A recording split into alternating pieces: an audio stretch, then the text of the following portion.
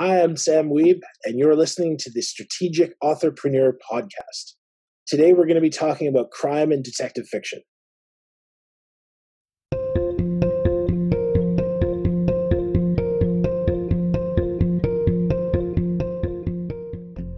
Hey there, strategic authorpreneurs. I'm Crystal Hunt. And I'm Michele Amitrani. We're here to help you save time, money, and energy as you level up your writing career. Welcome to episode 36 of the Strategic Authorpreneur Podcast. On today's show, we're talking with author Sam Wiebe about writing crime and detective fiction. But first, what have you been up to this week, Michele?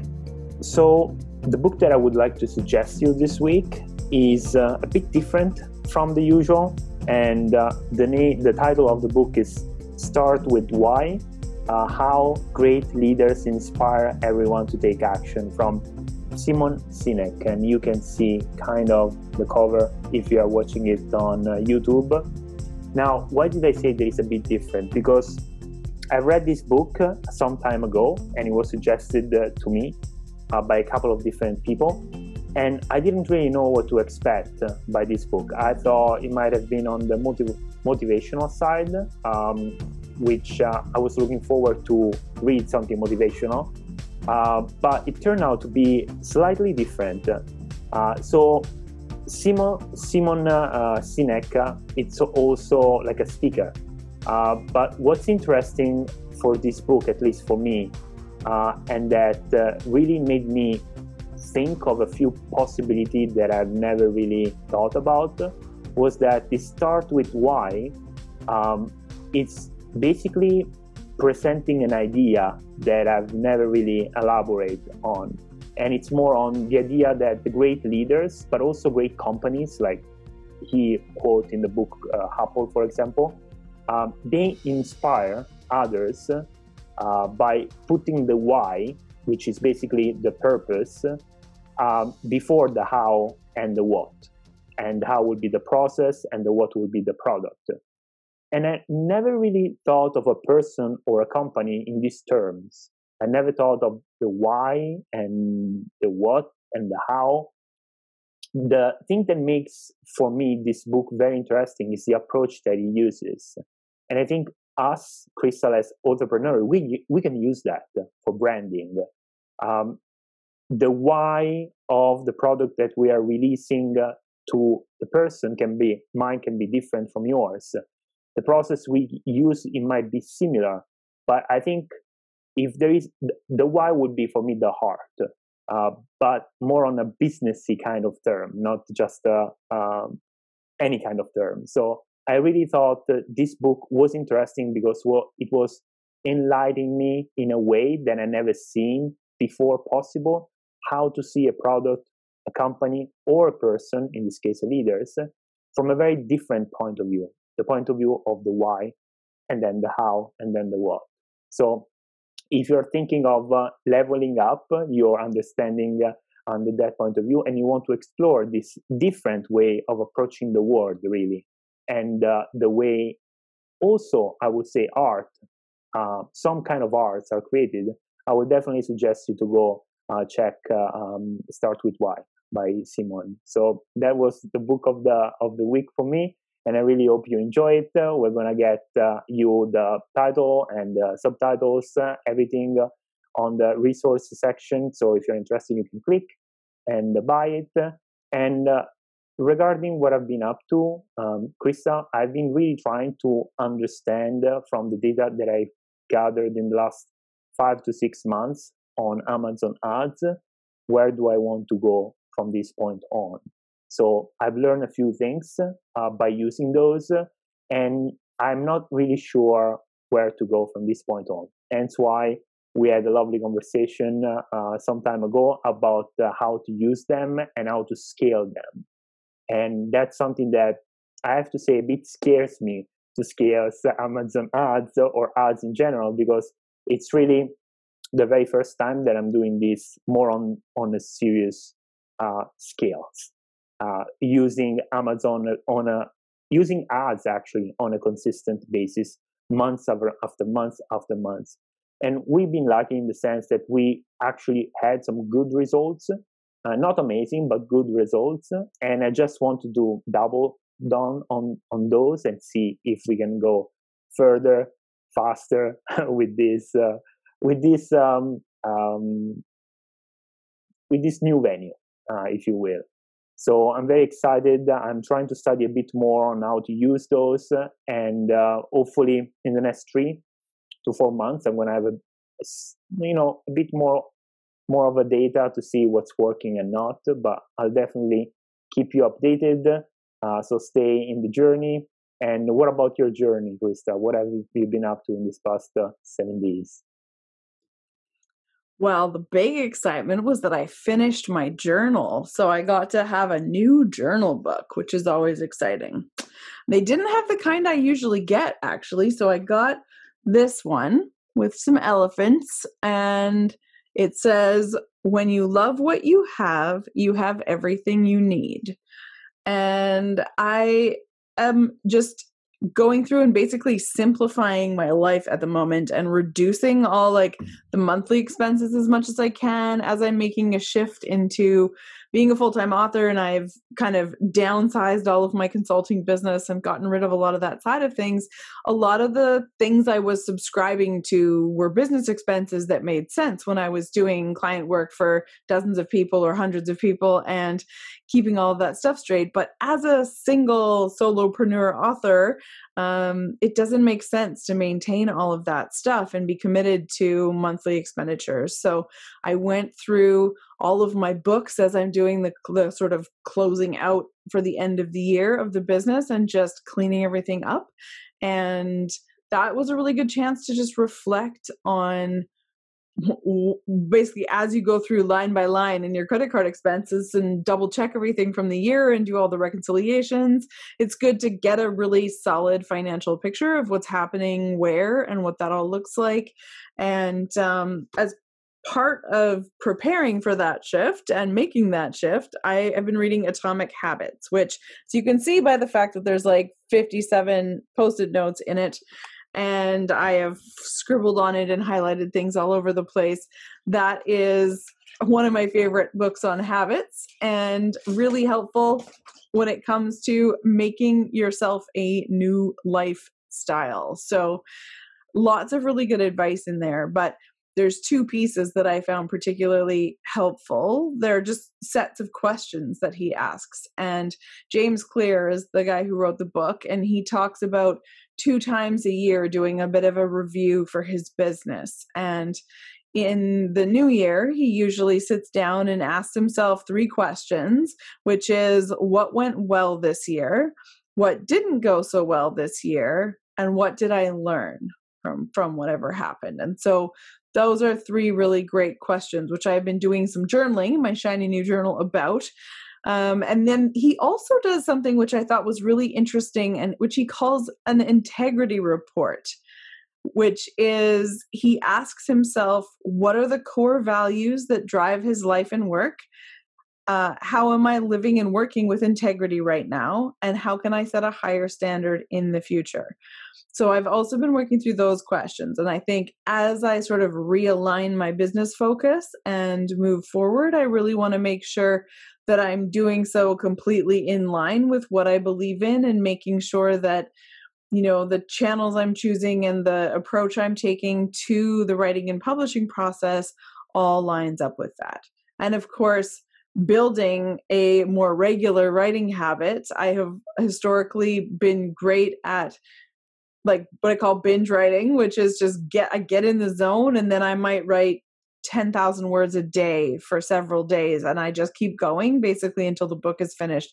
But that isn't very sustainable long term. So even though it pains me a little to approach change, I am going to have to actually shift so that I am writing more often, more regularly, and not burning myself out with each project, basically, because that's what happens when you go too hard for too long. Um, and I do have an assistant coming on to help me, which means that I have to be providing stable output in order for her to have consistent job duties throughout the year as well. And so that is an extra bit of motivation to really shake things up and make those changes. So for me, that has been a, a week of thinking, pondering, reinventing, and just trying to get everything all aligned for this next part of the adventure. But I had a really fascinating conversation with Sam Wiebe about writing crime and detective fiction. So I think we should go listen to that, and then we'll be back at the end to talk about what we heard, break it all down for you as always. And just before we go, if you want to buy us a coffee to contribute a little bit to the cost of the podcast, the coffee is a metaphorical thing. We're all writers, we get that.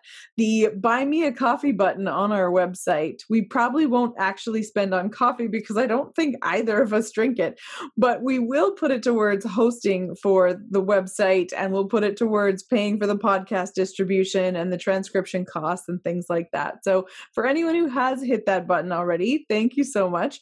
And if you haven't, it is at strategicauthorpreneur.com, right in the sidebar on the front page. You can just give it a click and see what happens when you do.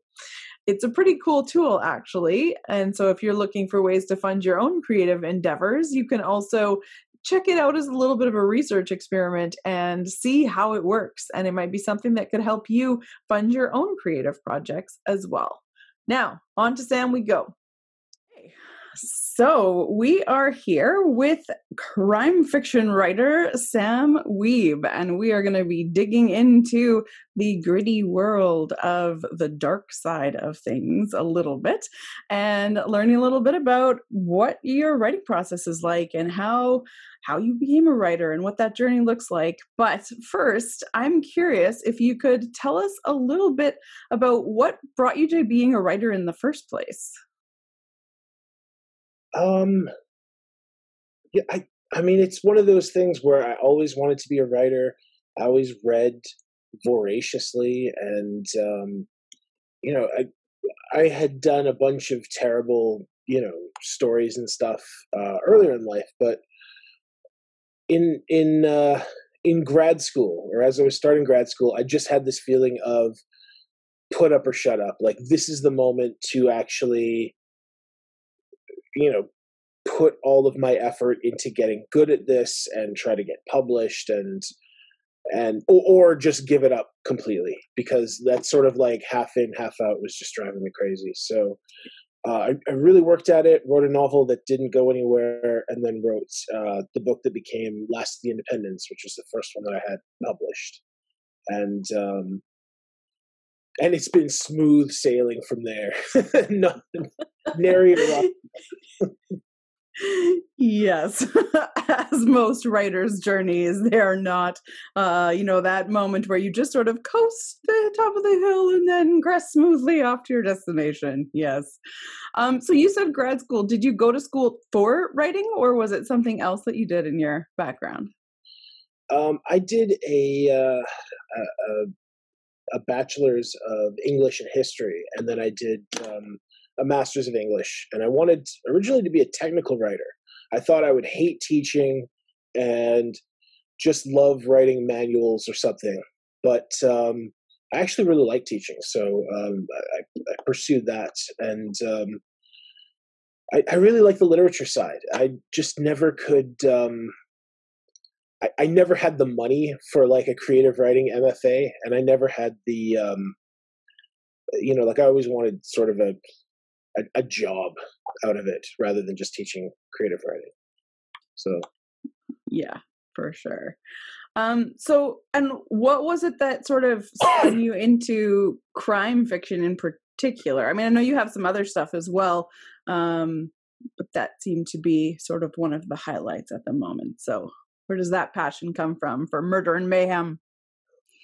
Yeah, it's, it's funny. Like I, I loved crime fiction before I knew I loved crime fiction. I just assumed I was the kind of person who read everything because I did. I mean, I love lit fic and um, you know, I used to read like westerns and weird historical books and true crime, like just you know across the board. But um, there was a moment when I was about 25 or so where I just remember looking at my bookshelf and it was all like Elmore Leonard crime novels, Sue Grafton detective novels and stuff like that, and just being like, oh, okay, I guess this is this is what I'm into, huh? And um, very shortly after that, my writing just went the same way, and it was just almost admitting, like, look, of all these great options, this is the one that you care about. This is the one that um, you know, when I was a little kid, I loved Encyclopedia Brown and the Hardy Boys and all those kind of stories, and then gravitated to my parents' um, you know detective novels like John D. MacDonald's uh, his series and like Dashiell Hammett and stuff. So, and then just really um, you know had had to have that moment of being like, oh, okay, this is actually what you want to focus on, and um, you know that it, it actually clarified things and made it easier.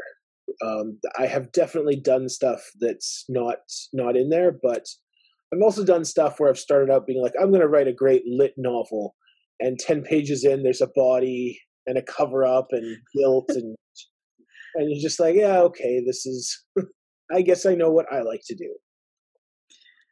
And that's i think that's a really important thing to acknowledge is so many people you know will have such a strong passion for one particular genre that is all they read and they just consume that all the time and yet they don't give themselves permission to actually write in that genre. I think it's something that a lot of people struggle with but you know as you said the path is not always a smooth one. And so if we are doing something we really love and immersing ourselves in it and and hustling to make a career over a long period of time it's going to be so much easier if you are really in an area of passion where you you have internalized so many of those story arcs and everything as well. That that makes a huge difference. Yeah can you tell us a little bit about your wakeland s- stories? I know like you've got a couple different novels that are in that same series and just kind of for those who haven't read them just a glimpse into what kind of detective uh, you've got and and sort of setting and things like that. Yeah um, dave wakeland is a Vancouver based private detective, and he and his partner Jeff Chen uh, mainly handle a combination of missing persons cases uh, because that's Dave's passion, and very high end corporate cases because that's what Jeff uh, can make money off. So uh, most of the books take uh, focus around a missing persons investigation that spirals into murder and conspiracy and all that great stuff. Um, I, I, like to think of them as, you know, like what Raymond Chandler or or uh, Dashiell Hammett would be writing if they were writing now. Like it's that sort of, um, I guess you'd call it like a literary detective novel. It's very much about the city and the social um, issues that are going on, and um, you know, r- really trying to just capture how I look at Vancouver and the sort of disjunction between the very public tourist friendly face of Vancouver and then what what I think is really going on. We have a lot of uh, grit and interesting kind of history and and subcultures in the city here. It's very very interesting. There's lots of stuff going on that people are really if you're not tuned into or not paying attention just just have no idea that that's what's going on um, when it comes to sort of developing those ideas that come at you into a novel what does that process look like for you? Are you a plotter or a pantser, or uh, how do you approach the the writing journey? Um, I, I usually have some idea um, it might be just a loose outline or a series of beats that i know i'm going to hit um, I mean, I, I don't really like plotter and pantser as terms, but there's there's one called plotzer, which is in the middle, which I, I hate even more, but I also feel like, yeah, that's kind of how I do it. Um, so I try to have an idea, um, maybe not so much, uh, you know, what's going to happen on every page, but uh, you know the logical development of the the plot, the clues and things like that. I, I do tend to work out a little bit of that early, and then um, also like what I want to build to like what's the climax of this book going to be? What's the moment that's going to you know that that this is all really going to hang on? And um, so i try to build back from there a little bit. But it's it's very much uh you know whatever happens on that day or in my life it it kind of ends up in the books too so yeah. I am with you on the not loving the terms. Um, I usually go with discovery writer, where you know you sort of have a framework, and then you're learning the characters and you're learning the story, and it's kind of getting getting born as you're going through the process of creation. And I I love that that there's pieces of you know whatever happens in your day that ends up in your work. Um, how how do you handle fictionalizing some real inspirational things? Like for people who are maybe newer to this and worried about putting too much reality into their books what are some tips that they could maybe balance a little bit of that?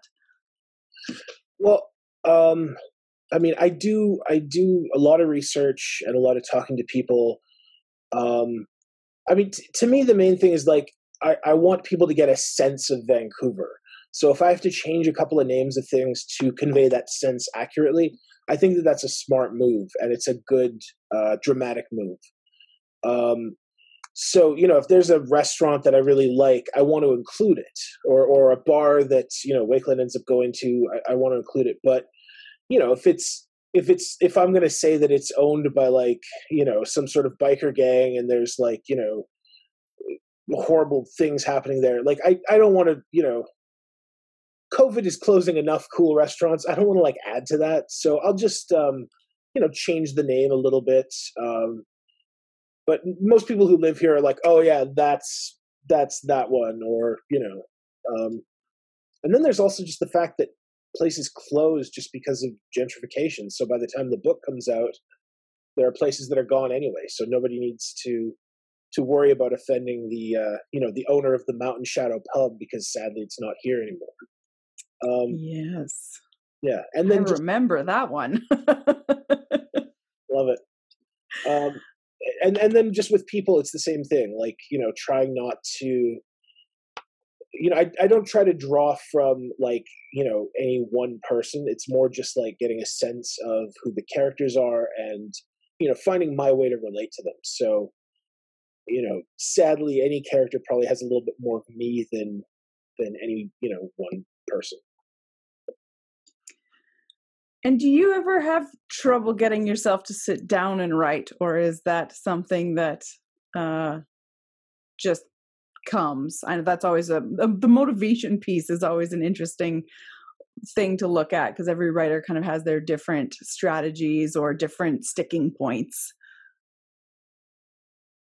Yeah, I try to um, I try to do it first thing. I have a pretty good schedule most of the time where um, my girlfriend is an electrician, so she leaves really early in the morning, like you know, quarter to five, and I don't start teaching until noon. So I have that chunk of time to do prep, but also do a couple hours of writing. And I set goals, and um, you know, I'm I'm pretty disciplined when it comes to um, to making the time. Sometimes what you write sucks though, and it's just this agony of you know I'm putting in my thousand words and I'm sitting here and it's just not coming well.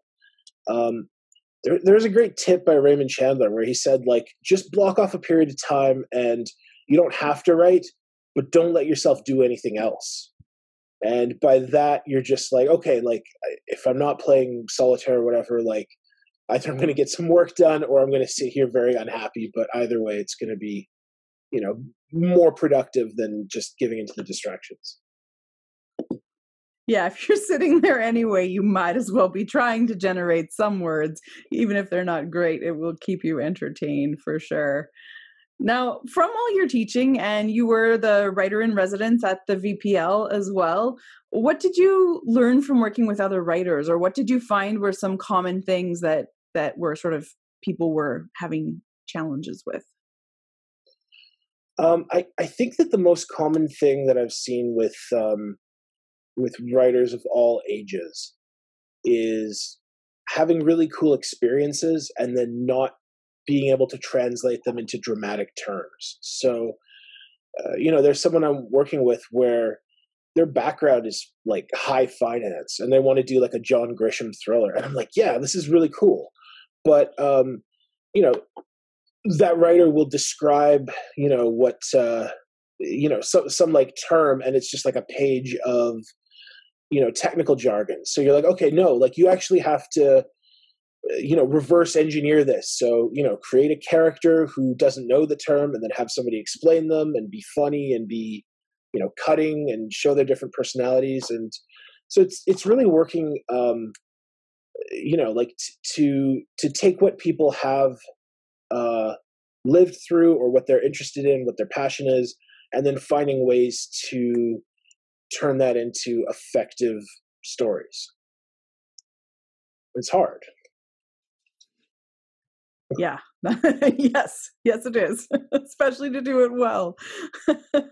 Um, so if someone is looking to better their craft do you have any favorite go-to resource books or websites or courses that you uh, like to send people to yeah i mean all the all the standard um, i mean stephen king's on writing is great um, uh, I teach at Humber now, and um, their course book is by uh, Jane Burroway, and that's very that one that book's very good.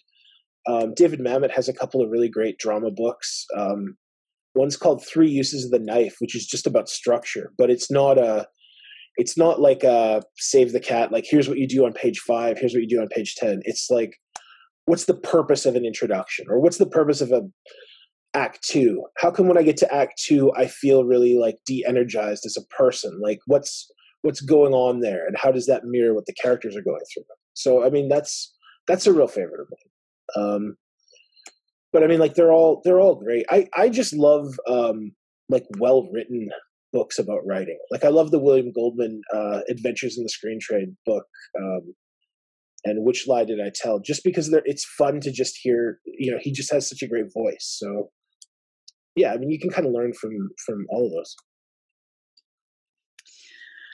And I'm curious. So, did you ever think of going indie? I mean, you went kind of the traditional route, right? And was there any point in the process where you thought, "Oh, should I do this myself?" Or was that kind of a a straight shot for you? Um, I I have more of a appreciation for indie authors now because I know what um, I mean, I, I think that what I love about that approach is that you actually learn every part of the book publishing process. Like, I don't know anything about marketing because, you know, I've had people market books for me, and some of them have been wonderful and some of them have been terrible, but I don't have those skills. So, you know, for, for me, coming from traditional publishing, like, I have to work on all those things. So, I actually look up to uh, to indie writers a lot. I think um, they get a bad rap, and and some of it can be very. Uh, I mean, there's a lot of sloppy writing out there uh, across the board, but um, you know, there's a lot of indie writers where like they hire good editors and they get good covers and they really care, and it's uh, it's about control and it's about kind of having, you know, like I want this to look this way, so when the reader, you know, picks this up, it has this feel and this this uh, you know typeface and uh, you know, I, I really respect that. But not tempted yourself, which is, I think, useful uh, information as a writer to know kind of where your skill sets are and where your preferences are. And um, if that allows the focus, I think you're already, you said you're teaching as well as writing. So there's already two jobs on your plate uh, in combination. So, how do you balance those two things? Um, well, uh, just before we leave that, I I did um, I did put out a short story recently through my newsletter where I edited and formatted and did the cover myself. Um, so like I and I and I've done a lot of research on that. So I I have been studying indie publishing just in the idea that you know if this doesn't work out or if I get a feeling of like oh I could do this better, you know I I love that uh, that thing. So no, it hasn't tempted me yet, but I'm I'm very very close to it. Um, I mean, I, I don't know about the balance. Like uh, it um it, it varies by my bank account, really. so, and do you find there are different seasons in the year? Like, is the teaching consistent all year round, or do you have sort of chunks of time where it's more one or more the other? Well, I I um I do teach uh three semesters a year. Um so that's pretty consistent. Um, you know, this there's a little bit more time off in the summer, and then the fall is where there's all the literary events. So uh, you know, time tends to get more precious in the in the fall. But um, you know, like it's it it really really varies project to project. When I'm writing a novel, like I need all those days in the morning to just sort of get the first draft and then edit it. And how long does it take you usually to do a first draft? Like, is that a, a consistent kind of process for you, or do you have a, a timeline on those things? Um, I, I try to. I mean, you know, it it gestates for months and months, but um, once I start working on the first draft, I try to get a thousand words a minimum uh, a day. Uh, sometimes I'll take off weekends, and a lot of the times I'll I'll get uh, more. So I budget about three months for the rough draft, and you know sometimes that is woefully optimistic, and it takes five months or six months. Um, but that's just to get the first draft, and then it's about the same amount of time to edit. And I like to do three or four passes through it, so it's about a year until I have something that like I'm happy sharing with people. Nice. Um, okay, here's a, a question for you. If you were going back to give yourself advice 20 years ago, what advice would you give to yourself to help make this path a little easier? Ooh. time machine. You got to hop in a time machine and off you go.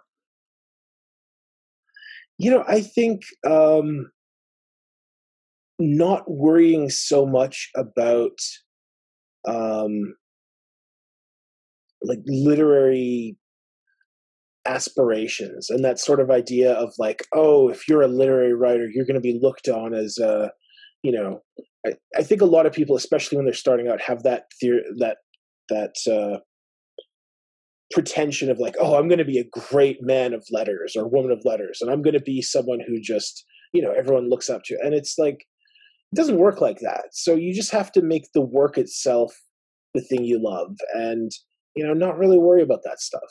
Um, easier said than done, especially when you're a pretentious like teenager or you know someone in their twenties. But um, I, I think that you know writing something you care about and not worrying about whether or not people are going to laud you for it is the best thing to do. And what do you think was the best investment you ever made in building your writing career? Whether that's a tool or a skill that you learned or an, an aptitude that you invested in growing? Um, you know, the best thing was just taking the time to write um, and, and not giving myself any excuses for it. Um, like when I started grad school, I was just slammed for time. And, you know, you're given these like awful, like 600 page Sir Philip Sidney books to read in like three days and stuff. But um, I just, you know, I just was like, okay, I've, I've got to get something down. I've got to get this book down and it's going to stink. But, you know, I went through it and I revised it and I sent it out and it got rejected and rejected and rejected and like that's all good but that that process of finishing it revising it sending it out was worth any number of courses or or or advice because it's it's like we were talking about with indie publishing like now you know all the processes. You know where you start and uh you know and, until you until you know what it's like to write an ending you don't really know how to write an ending and the first one you do is really going to stink. So you just, you know, do that, and then you're just like, don't want to do that again, and and hopefully get better. And rejection is something that comes up a lot in the writing world and that is definitely i think really challenging for people to deal with when you are kind of pouring your heart and soul into something that you're so passionate about and then you're sending it off in the world and kind of getting stomped on a little bit in the feelings. Um, i'm curious number one how long it took between when you started writing and when you had your first book published?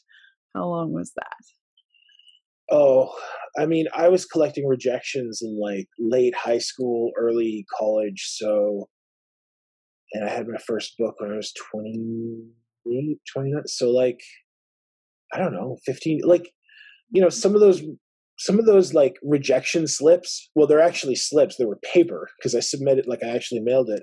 And then they're like for, for magazines that are gone now. Like, they've been gone for like 20 years. So, yeah, like pro- probably 10 years, but it's, um, you know, it was like writing a bunch of short stories, getting a couple of acceptances, writing a novel, getting some rejections and writing another novel. Like it's just, it takes a long time, but it, it's, it's worth it. And which novel was the first one to get published? Was it like the third one you wrote or the second one or the 10th or? I mean, there was so much crap that I wrote when I was like, um, I, I would call it basically my second book. Like the second one that I, I sat down, finished, and like really revised to the point of like, I'm proud to show this to people. Um, you know, the first one got rejected by a bunch of publishers, but you know, one guy was like, Oh, I like this, send me something else. And that was like you know, just the sort of spur of like, oh, like maybe I can do this. Um, so I, I, would say second, but you know, depending on how you count, it could be like the fiftieth.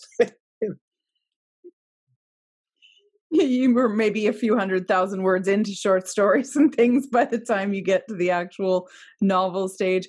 How do you think starting with like short stories and submitting and doing all that stuff impacted your ability to to do the novel stuff? Oh, it's a tremendous help. I mean, I think short stories are. Um,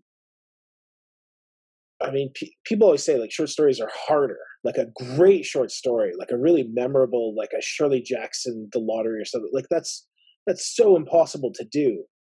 Um, but like the the um, but writing a bad short story is easy because it's short and you go through all the same steps as a novel. So you're writing an ending, you're writing an act two, you're revising, you're sending it out, you're getting rejections, and you're getting all that stuff on a very small um, time frame. So that when you come to the novel, it's like, oh, okay, I've done this before. I just need to do it bigger and better and with more subplots and stuff. Um, so yeah, tremendously helpful. And I, I think like short story reading is just a real. It always makes me sad when people are like, "Oh, I don't read or write short stories," because it's it's um, some of the best writers are working in the short story vein, especially like literary writers. And um, there's some great literary magazines, and it's also just it's a great craft. You know, it's uh, it's kind of an unsung craft now, but it's uh, it, it's super helpful. And I think you had a really interesting point that until you've written an ending, you don't know how to write an ending. And until you've written a whole story arc, you don't know what that experience is like. And writing shorter allows you to practice the whole process from start to finish in a, a compact piece. So it's not like three years invested in writing your first novel and then you're ready to learn how all the pieces can really fit together because you've done each one. Um, yeah, so that's an interesting opportunity for people to kind of get some practice, not to discount the options of short. Um, so if we bring it back to, back around to crime for a minute, I am curious of all the books that you've read and all the ones that you've loved and the ones you've taught about and written. Um, do you have any sort of let's say your top three standout examples of crime fiction if people were going to uh, want to read some very excellent examples of the genre if they're just getting started. Oh wow! Yeah, I mean that's it's such a tough one because uh, I mean my my enthusiasms change, but um, I mean it's a very hack answer, but I love Raymond Chandler. I think that um, you know his his novels and just his prose are so good. He's the first writer I think in crime fiction where you could you could point to and be like that is as good a paragraph as you're going to find anywhere else. And uh, I love his book so much that I just decided to get rid of my collected works and get another set just because I like the the covers on this other set better. Um, so I, I, would say his works, um, any of his Philip Marlowe novels, Agatha Christie, I think is great. Um, like if you're looking for uh, someone who represents the best of the like like the like the English detective series of um, you know like with clues where you're kind of matching wits with the detective. I mean, I think um, and then there were none and um, the murder of Roger Ackroyd and Death on the Nile are all so great. And uh, a, a, writer that I love um, who doesn't quite get as much uh, recognition recognition as uh, Christie is um, uh, Josephine Tey, who wrote a great series, and she wrote a book called Daughter of Time, which is I, I still think like the most original crime novel ever, where the main character is uh, breaks his leg and is bedbound and is looking at a painting on the wall of the um, Richard III, and he starts looking back on the Richard III's murder of the princes in the Tower and how history is kind of shaped by the winners, and it becomes this very weird historical crime novel. Uh, I, I it just blew me away. I love that book. Nice. That sounds very interesting. I will have to go and get my hands on that. I've not read that one before. Um, okay, so one one last question. I think as writers, we often come from a place of readers, and it's really quite cool when you sort of cross that divide onto the other side and become a writer and you get to meet all of these interesting other writers. And so I'm curious do you have a standout moment where you met somebody who was on your bookshelf? Yeah, yes I do. Yeah, I met um I met Ian Rankin and um the the Scottish author of the Rebus series. Um I, I, met him. I've met him a couple of times. I met him at the Vancouver Writers Fest one year, and you know, at the end of the talk, people line up to ask questions, and I actually asked a question. And then later in the hall, he um, he was very nice. He's actually one of those famous people where you're like, you're too nice. Like you didn't have to be that nice to me. I would have liked you if you were a little standoffish, but like super personable. And um, he just said, uh, "Remember, Sam, we've all been where you are." you know, at, at that aspiring stage. And I thought that was like very classy uh, advice, and, and uh, yeah, respect him a lot. Nice, excellent. Well, um, that has come to the end of our time together. It flies by so very quickly. The tendency is always to make two hour long podcasts, but we all have books to write. So there are things to get back to.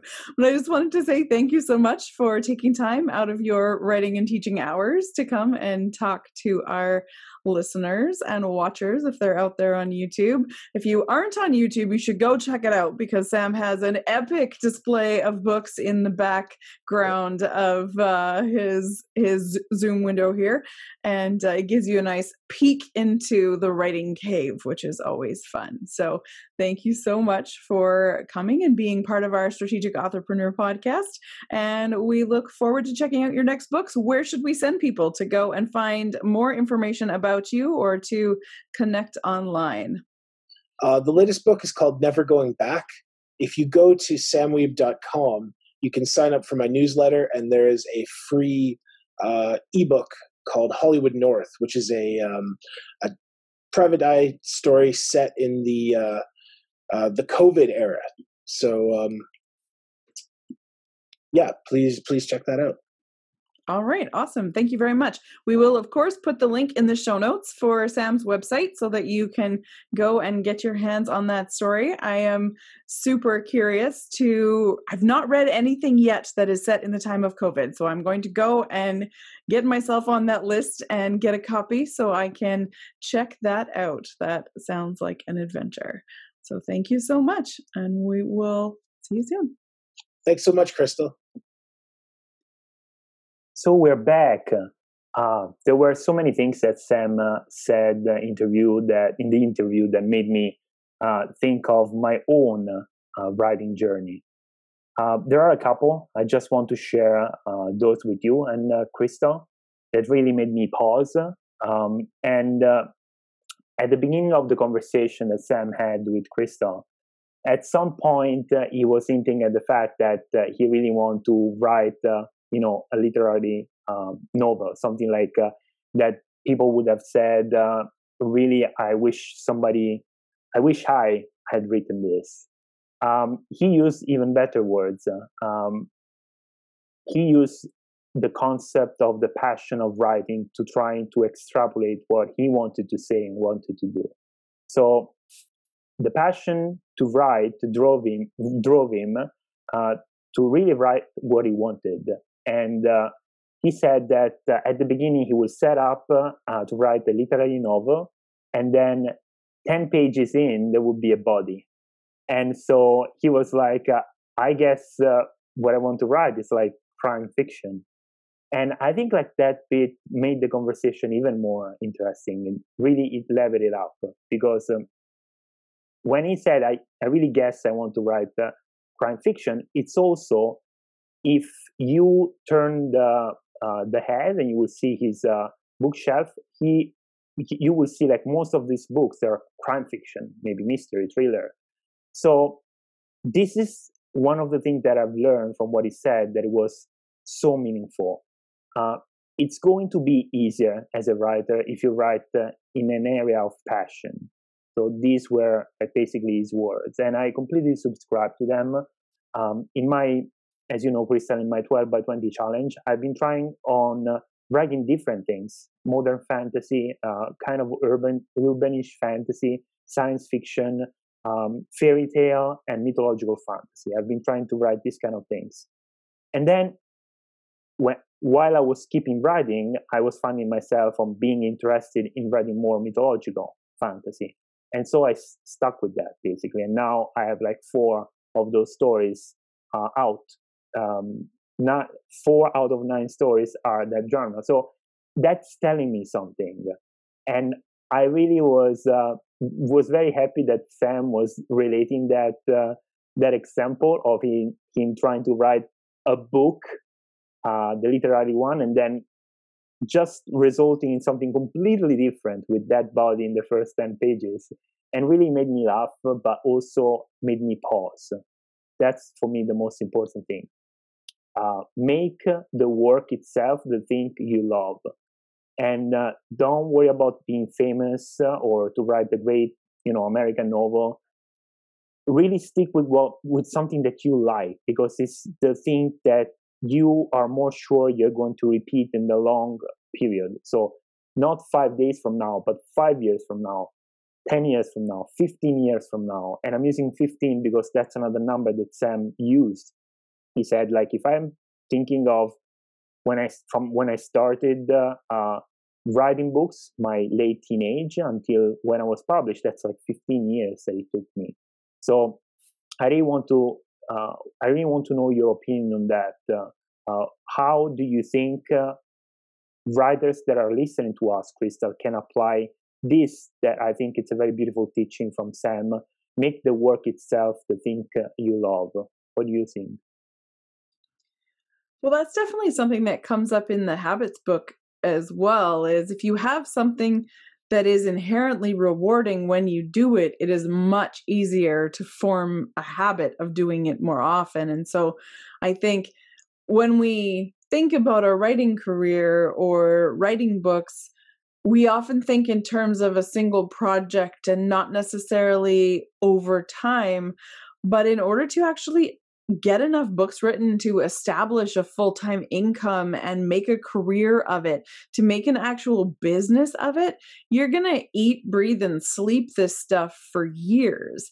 And if you are super focused and entirely dedicated and you're you know comfortable enough with your funds that you're able to actually focus on your writing right away you might get away with a three to five year career build. And if you're doing it part time on the side of your desk and your free time and your evenings and your weekends, you might be looking at 10 to 15 years before you make that transition because it it takes a long time to build the skills and the catalog and the knowledge to be able to actually do this stuff. And so if it's not something that you love to do, you're not going to make it for a really long time at that. And if you do, you might be able to force yourself to do it, but you're not maybe going to love it. And so that is tricky. You know, I think I've always had this rule for myself that if I was miserable more than 20% of the time, like if I was waking up in the morning and I didn't want to go to work more than two days out of 10, then I had to find myself a different job and it, it's not different if you're a writer and it's not going to be easy it's going to be hard but it should be something that you like the challenge of and that you at least enjoy most of what you're doing or the environment you're doing it in or the people that you're working with. All of those things can go a long ways to changing it and I I can totally relate to what Sam said about the you start writing something and then there's a body. For me, it's you start writing something and suddenly there's two people falling in love. Even when the book starts with a body, I always end up with a happy ending. So I totally get that. But I think it's great to do an experiment like you're doing this year, Michele, where you just write a whole bunch of stories and you see what happens, what comes out when you just let yourself write a whole bunch of things, and then look for the similar threads in those things. And then find a way to tie those together. And then that is your unique sort of approach to things. So I think there's a lot of value in just recognizing um, what it is you love and letting that spill out because you're also going to connect with the people who love those books because they're you. they're just on the other side of the screen. So that makes all your marketing efforts much more easy as well. So all of that is fantastic. Yeah, and since we kind of hinted to the subject of short stories, uh, there's also like a part of the conversation you had with him. There was like um, you were talking about short stories and the fact that uh, they're hard write. Uh, and Sam says uh, that sometimes they're even harder than uh, books like the novels. Um, but that's some of uh, one of the beautiful things is that writing a bad short story it's easier than a bad novel because it, it's short and uh, so you can go through all the steps same steps uh, as a novel so you start it you finish it you revise it and you ship it and then you're starting getting rejection so same process uh, in a much shorter time frame and that's for me it's in a way liberating. It's like something that frees me um, that actually gives me something to think about. Because if i can fail faster and learn faster from my failure i'll definitely take it um, i'm not that scared of like failing because that's part of the process. We spoke about uh, uh, that a lot a lot of times in the podcast and i do believe that's important for you to understand that's a stepping stone actually a, fa- a failure.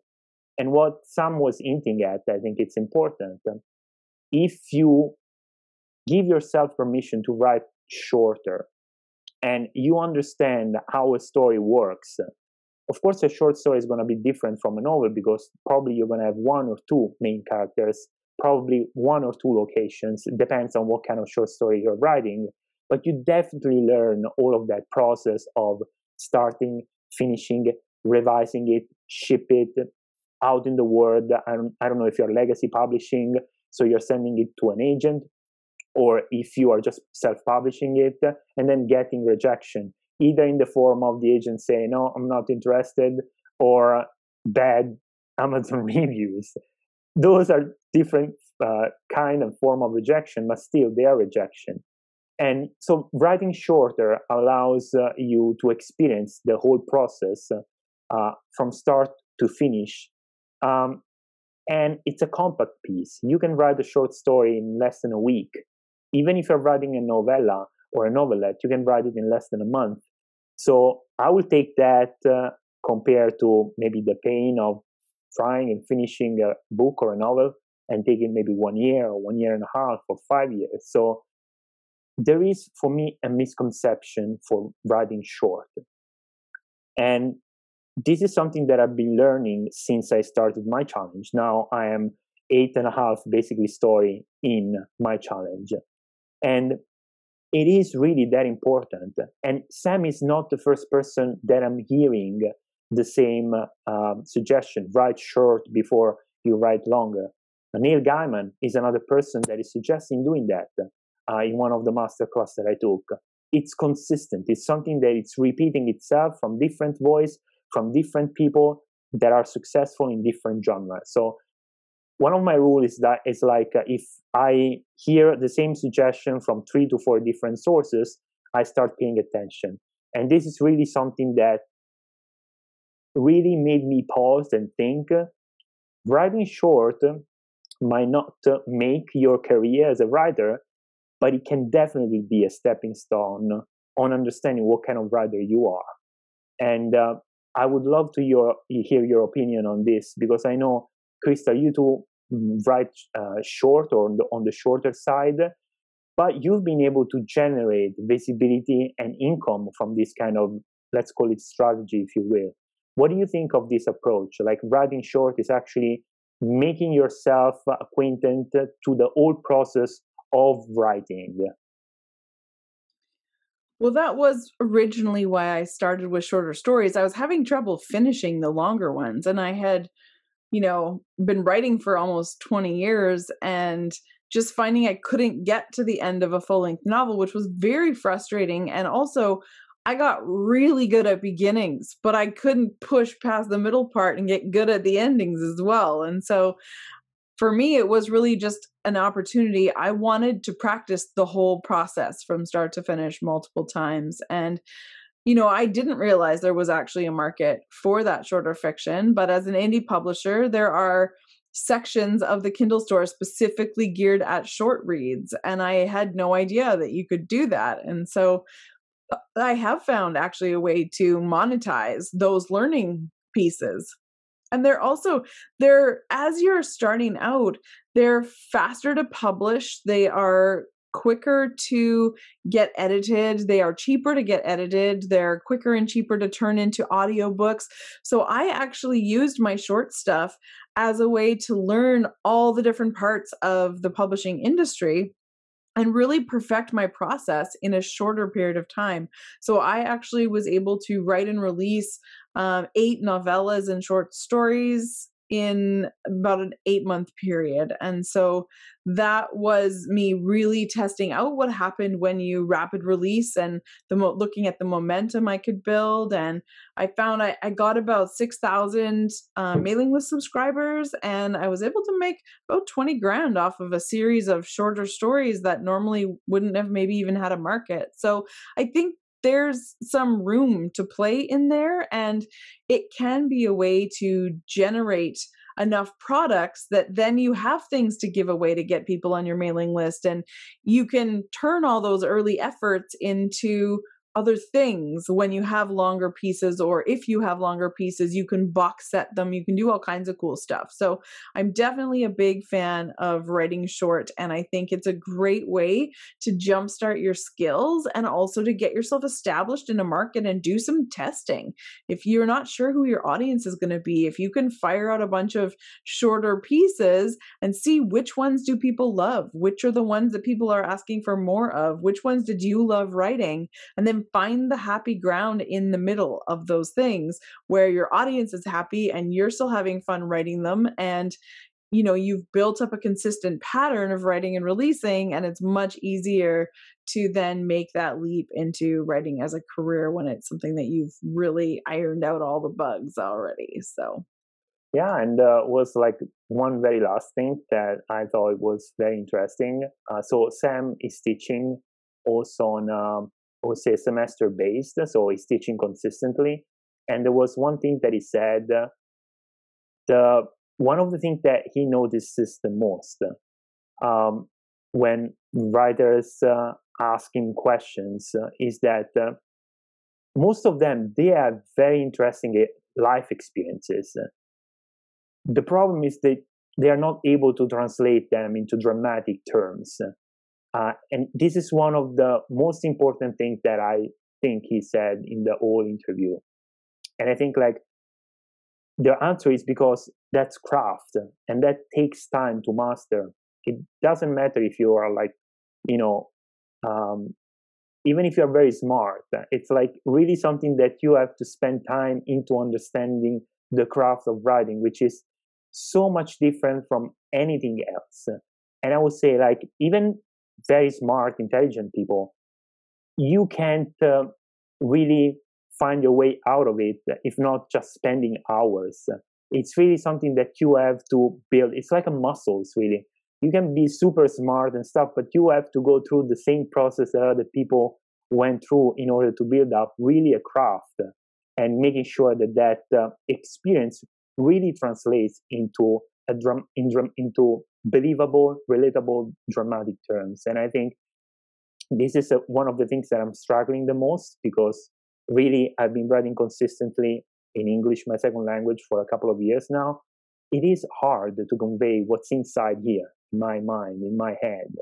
And I think uh, it's important for you to understand, as Sam said, that even people and authors that are very successful, they have been exactly in the same spot that you are at now, in this very moment. So I think it's important for us, Crystal, to underline this. It's a question of, it's like a marathon, it's not a sprint. I know we said this more than once, but I think like this interview with uh, Sam was another occasion to reiterate that important uh, concept that you have to put in the writing time. What do you think about that? Yes, absolutely. There is no shortcut except to do it. that is the only shortcut. You can cut some time off of things by not procrastinating and putting your butt in the chair and doing the hard work for sure. Now, we are going to dig into the curious jar and find ourselves a question for today because we are gluttons for punishment. And if you have a question you want to add to the jar, you can email it to ideas at strategicauthorpreneur.com and we will put it on a colored paper and add it into the mix. So, what one should I stop on? Stop now. Oh, orange today. Okay, let's see here. Ooh, okay. If you could learn to speak one language overnight, what language would it be? Yeah, I think I have the answer. Um, it's um, ASL, and I think it's because uh, okay. Long story short, I took like a, I think it was a ten weeks uh, long ASL class for very basic kind of stuff, and I really loved it. Um, but I wasn't able to really go over the point of like just spelling my name and saying this is my name. I I'm I'm okay, you're okay, well, you're, it's like really the basic. What I really found interesting of this language, that much that I try to write a story, write a story about it. Of course, it's a mythological story, so uh, but there, there was a concept of uh, a language based on signs that you really have to pay attention to the face of the person to understand when something is stressed, for example. Uh, because if you're doing something like uh, you can see me if if you're not on YouTube, you're not gonna see it. So, uh, but if I do this, it means hot. But if I do like, that means uh, very hot. And I, I, know you can see me if you're not on, on YouTube, but what I'm trying to say is that you have to pay really attention. You have to be focused on the, the, the person that is on the other side. And this is something that I've never seen in any other language. And I am speaking Italian. In English, more or less, I can speak. You can see that um, Spanish a bit. Uh, I know just a bit enough Japanese to be dangerous at times, but really sign language was like uh, it was like stepping on an alien planet and learning a completely different skill set.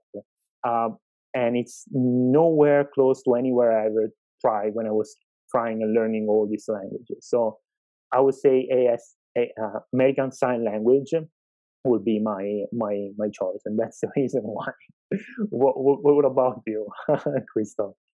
Interestingly, that is also my first choice. Um, I think I've always wanted to learn more ASL. I know only a small amount. Again, I you know communicated with kids that I worked with, and also with friends growing up in my school, but I never really got what I would consider a fully fluent version. And actually, when I was young, I got really bad ear infections and I lost my hearing over a period of about a year. And um, my mom actually didn't notice because she never speaks to people unless she's facing them. And I had learned to lip read as I was losing my hearing. And I remember, I just, I remember being not able to hear things and the way that that felt really isolating. And I feel strongly that I would um, a be at pretty big risk of losing my hearing again in the future so that's something that i think personally is relevant that it just makes sense to learn that but also um, just wanting to be able to make poetry with your hands. I think it's really interesting to see language expressed outside our body and outside our mouths in a visual way is really really interesting um so i yeah i would love that and to be able to connect with other people as well. I mean the list of languages i want to learn is very long. I clearly need to take a little more action in these directions. Um, but i would love to be better at spanish. I would love to learn japanese chinese um, Italian, German, really anything that has a really different language root, I think is fascinating because you learn a lot about people's culture when it comes to their language. And I had Irish would be another one that I would like because that is, I learned bits and pieces from the kids that I lived with in Ireland because they were going to school in Irish classes and they would come home and teach me some words. Um, and I, you know, to read signs and things when I lived there. But it was uh, definitely a really interesting, beautiful language that I think isn't being preserved either. So there's lots, but uh, definitely ASL still comes out at the top for me. And please remember for show notes, links to resources that we mentioned, and for coupons and discounts on the tools we love, please visit us at strategicauthorpreneur.com and join our mailing list. Also, if you're listening to this podcast on any of the different platforms this post podcast is, please make sure to review. Let us know what you think of it. We're again relatively new podcast wise, and we would love to hear what you think of us. Thank you very much. And be sure to subscribe wherever you're listening to the podcast so you don't miss out on our next episode because we are going to be digging into virtual conferences. So now that everything is online and looking like it's going to stay that way for a while, we are going to help you try to get the most out of any online conference experience you have. So we're going to talk about the good, the bad, and the tips, tricks, and hacks we've developed over the last few months as we've been attending and presenting at some ourselves. So until next week, happy writing, and we'll see you soon. Bye bye.